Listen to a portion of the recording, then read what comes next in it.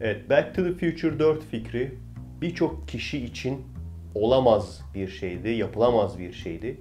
Ancak annelerimden bir tanesi Back to the Future filminin yapımcısını tanıyormuş, bunu öğrendim. E, bunu da tabii kullanalım dedik, avantajı çevirelim dedik. Bu yapımcının 12 sene önce yazmış olduğu bir tweet'i açığa çıkarmakla kendisini tehdit edince sağ olsun filmin haklarını bize devretti. Back to the Future 4 nasıl olacak? Çünkü biliyorsunuz 3.de araba yok olmuştu ve doktor da lokomotifle geleceğe gitmişti. Bunda Marty McFly'in kızı Jamalia Sanders oynuyor. Ee, biliyorsunuz Marty McFly'in kız arkadaşı beyazdı ancak e, bu esnada ondan ayrılıyorlar ve bir renk insanıyla birlikte oluyor kendisi. Ve bundan da bir renk insanı kızı oluyor Jamalia Sanders. Tabi evli olmadıkları için kendi soyadı var. Bu renk insanı tabi gerçek siyahi değil de Netflix siyahisi gibi yani böyle sütlü kahve zaten babası da beyaz falan olduğu için e, saçları da böyle permalı kıvırcık kıvırcık. Netflix siyahisi yani. Babasına diyor ki baba böyle bir senin geleceğe dönüş aracın varmış, zaman makinen varmış. Bu nerede? Sorma kızım diyor. O parçalandı, planları da gitti. Onu icat eden, yapan profesör, doktor da geleceğe kaçtı. O yüzden bu doktora erişimimiz artık mümkün değil. Sonrasında ertesi gün bir bakıyorlar Jamalia Sanders garajdaki arabayı zaman makinesi yapmış.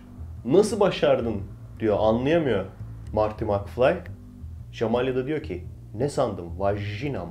Ve sonradan ortaya çıkıyor ki kadın gücünü kullanmış Jamalia Sanders ve yarım saat içinde hemen arabayı zaman makinesine çevirmiş. Ve zaten zaman makinesine binip doktorun yanına gittikleri zaman öğreniyorlar ki aslında doktor değilmiş o zaman makinesini bulan. Evet, retcon önemli bir retcon bu.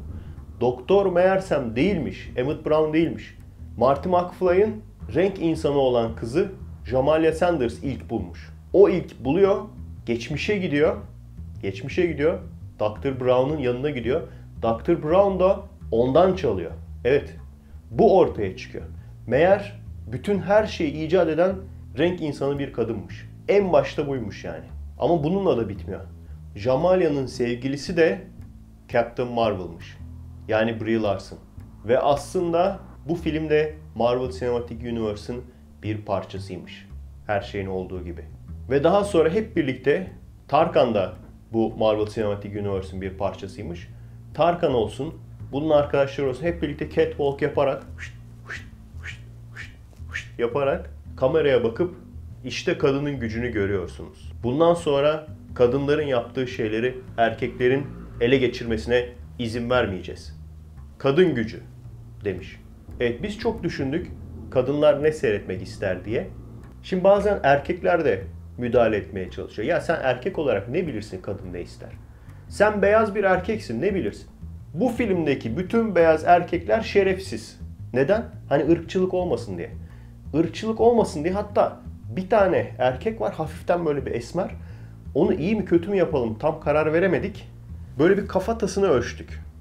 Benim bir arkadaşım var. Joseph Mengele'nin torunu Adolf Mengele. Heinz, Scheiß, Mainz yaptı böyle. Kafatasını ölçtü baktı. Tamam dedi bunda sıkıntı yok. Bunun ırkı uygun. Aman yanlış ırkı iyi göster. Yanlışlıkla beyaz ırkı iyi gösterirsek o zaman ırkçı oluruz. Aman ha. Bunlara işte sormayacaksınız. Bunlar artık yani beyaz erkekler kadın ne istediğine karar veremez. Sen nereden bileceksin kadın ne istediğini? Kadın ne ister? Böyle erkeklere yarım saatte bir laf sokulsun, laf çakılsın ister filmde. Gerçekten. Ne kadar kadın varsa kesin eminim ki bunu istiyordur yani. Siz bir erkek olarak kadınlara mansplaining yapamazsınız. O yüzden bir kere her şeyden önce erkekler ağlaşıp duracak bu filmde. Ağlaşacaksanız hiç gelmeyin, seyretmeyin. Erkekler defolsun. Erkekler seyretmesin lütfen bir zahmet bu filmi. Ondan sonra bir ton laf edeceksiniz. He bazı kadınları görüyorum. Onlar da diyor ki biz işte erkek düşmanlığı falan yapmıyoruz. Nereden çıkarıyorsun falan. Biz erkeklere böyle sallamıyoruz. Tamam onlar da gelmesin. Onları da istemiyorum. Çünkü onlar da bakın onlar da gerçek kadın değil. Gerçek kadının ne olduğunu biz iyi biliriz. Kadınlığı sizden öğrenecek değiliz. Kadınlığı da biz iyi biliriz. Onlar da gelmesin. O erkek yalakaları da gelmesin. Sonra mesela bazı LGBT bireyler var. Onlar da diyor ki bizi ne biçim gösteriyorsunuz, rezil ediyorsunuz. Tamam onlar da gelmesin, onları da istemiyoruz. Siz gerçek LGBT değilsiniz. Onlar da defolsun gitsin.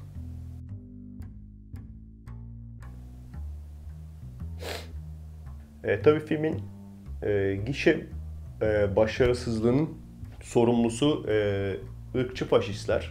Irkçı faşist ve seksist insanlar, kadın düşmanları ve homofobik kişiler bize komplo kurmuş oldular. Ve bunun sonucu ne yapalım diye bir toplantı yaptık ve kararımızı verdik. Back to the Future 5 geliyor. Bu sefer daha fazla politik mesaj vereceğiz. Çünkü fark ettik yeterince politik mesaj vermemişiz. Daha fazla politik mesaj. Çünkü yani senin Back to the Future dediğin ne ki? Böyle işte geleceğe gitme, zaman yolculuğu falan gibi çoluk çocuk konuları değil.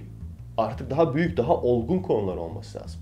O yüzden daha çok politik mesaj vereceğiz. Sanırım yeterince boğazlarını aşağı sokmamışız. Biraz daha boğazlarını aşağı sokacağız.